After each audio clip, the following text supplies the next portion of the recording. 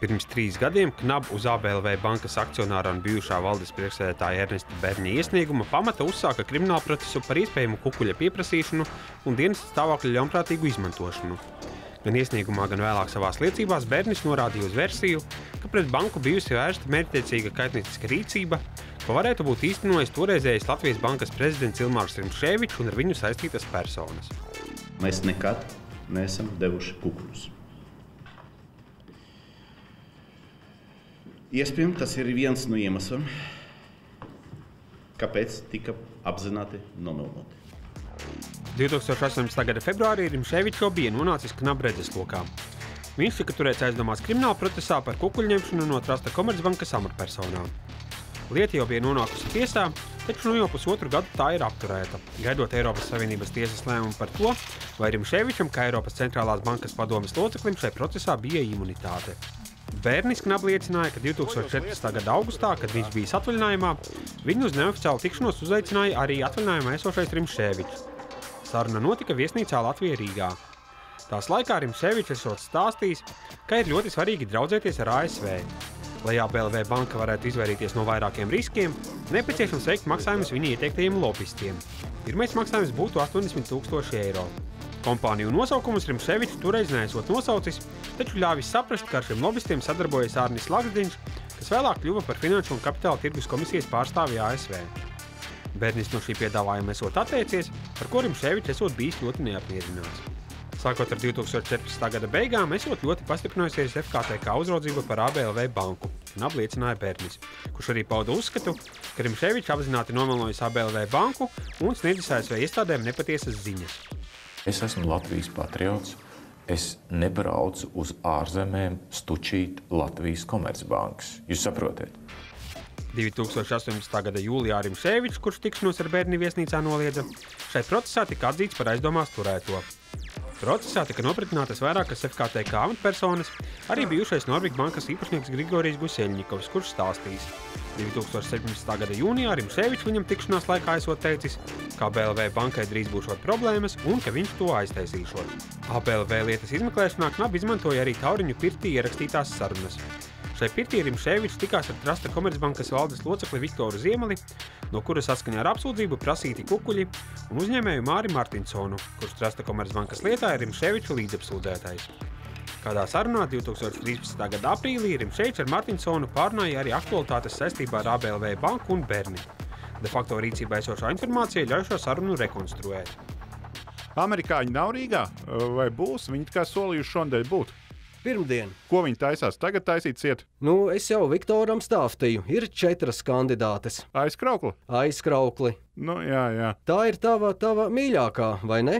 Tā kā es jau arī Viktoram stāstīju, jā, kad nu, Tobišs es. A, balta?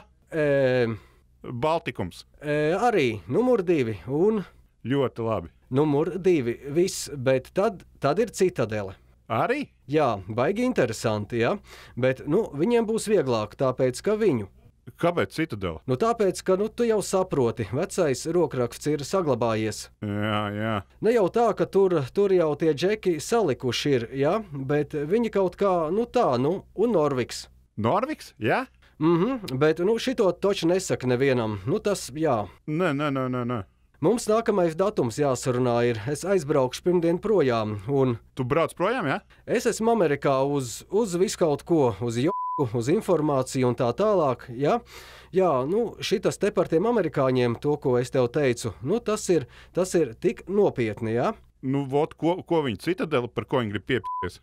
Nu, vecais es jau nezinu, ja? par aizkraukli. Tur ir Nu, tur skaidrs. Būvniecības cash izņemts laukā. Tādā veidā. Bet, nu, tu saproti, es tev izstāstīšu, kā bija. Toreiz bija tā situācija, kad bija kaut kādas sešas vai septiņas bankas Amerikā, tur, kur nevarēja norēķināties. Ja? À. Tad bija un šitie, šitos visus nokopu. Nokoptu šitiem, nav ko nokopt. Ja šitie džeki pasaka, ka vienkārši viss, tev viss beidzās.